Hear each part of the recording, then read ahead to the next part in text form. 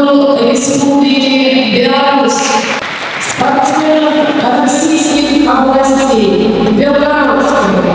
Ростовской, Самарской, Краснодарского края, города